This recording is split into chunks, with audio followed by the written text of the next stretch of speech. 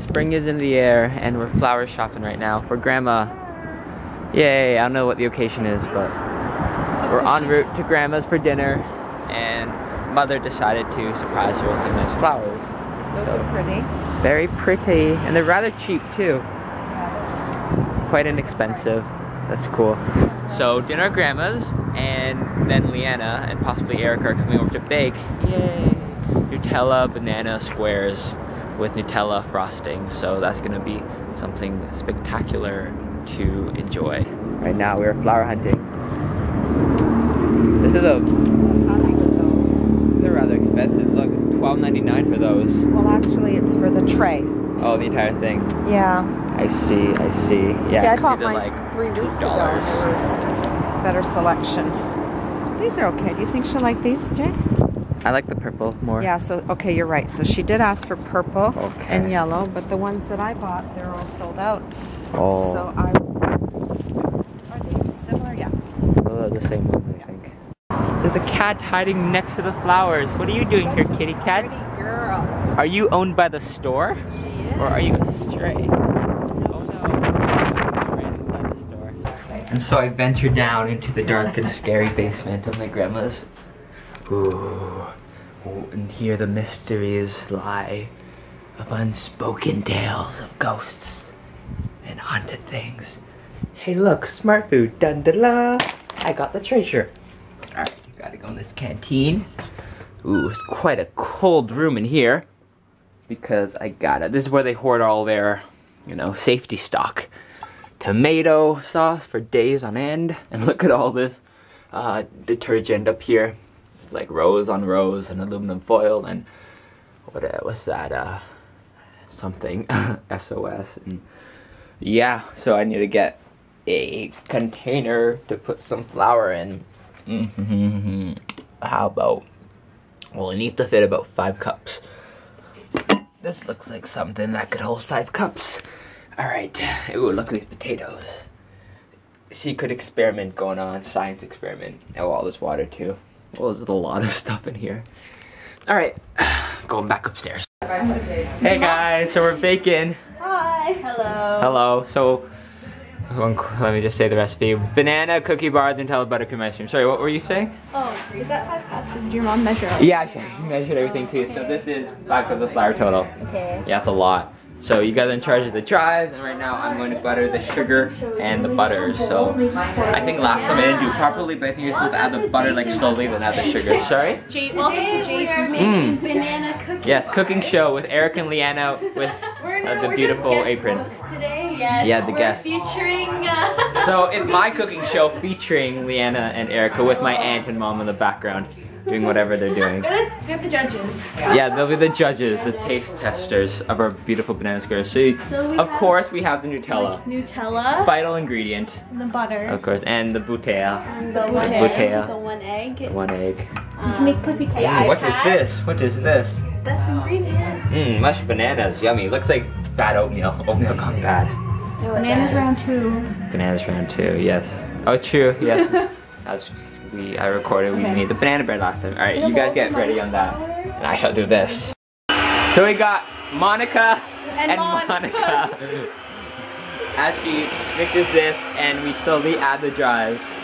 Alright, so Monica, have you slowly start to add that to Monica's bowl? Thank you, Monica. Oh, no problem. I love being Monica. you are Monica. So this is gonna give away. Okay, so we made our banana batter, but it looks a bit irregular. It's like clumps of tiny little, very thick, like the texture is very thick and doughy. Um, banana dough, it's like cookie dough in itself. So, let's hope when it bakes, it becomes something that looks like in the picture. Which is this. So, let's hope for the best, yo. So we'll put this into the parchment paper and we'll ship it off into the oven. Okay, so here's our final product. Banana bread. But it doesn't look, it looks very brown and crusty. What do you think? Just the edges. I don't know, I don't know if it's supposed to be that hard. It's very like stiff. But maybe when we eat it, Tim put the icing on, it'll taste different. Sorry? Leanna, have a bite. Oh my god! Have a bite, Well, it's Leanna. bread. Everybody take a bite. Nah, nah, nah. But yeah, look, it practically looks like bread. Yeah. Like we just made it looks bread. Like biscottis. Dry and You know what? The pan was probably too big. We thought Are you cutting them too big, Mom? They're supposed to fit into these small little cups. Okay. Okay. There we go. for you, Very appropriate. Thank you. Alrighty, time to ice these babies. Okay. Practicing your professional decorating skills. Can you do it in like a twirl? Those look like S's or dog poo. Alright, as long as it gets on, I guess. Oh, that looks cool. Yeah. That's awesome. Yeah. That's the best one right They're pretty hard though. Yo, Mom, these are so hard. Why are they so hard?